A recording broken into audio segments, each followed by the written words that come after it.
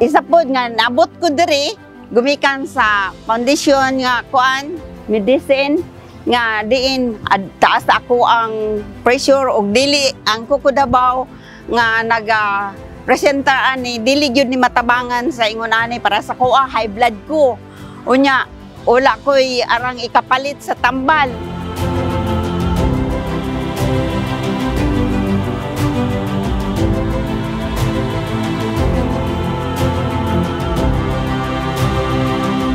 Ako ah, high blood ko, nya wala ko na ibtag ngipon kay taas kay akong dugo.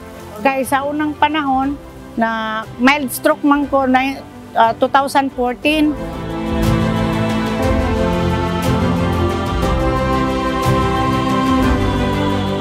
Nagpapasalamat po sa CATS International sa tulong na ibinigay nila sa amin. Nagpasalamat talaga kami dahil binigyan ninyo kami ng halaga na kahit nandyan kami sa bukid, nandyan kami sa mundok, pero binigyan ninyo kami ng panahon o binigyan ninyo kami ng time na pinupuntahan ninyo kami dito.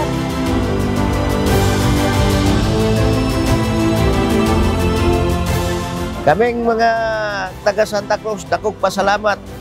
Kay sukat-sukat karon pa ni Nanay Tabo.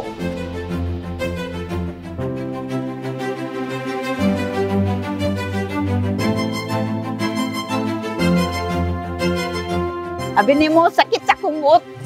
Kailakon ko pero tungod sa kalipay na ako sa inyo, sir, nga nagtabang mo sa mga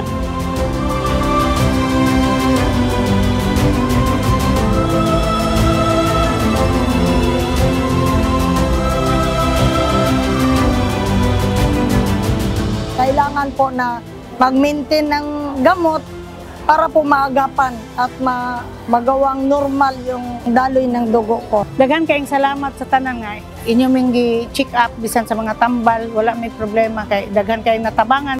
kung dili sila, siguro dili mi ka, dili mi katagamtam kung unsag yun ang pagtabang yun.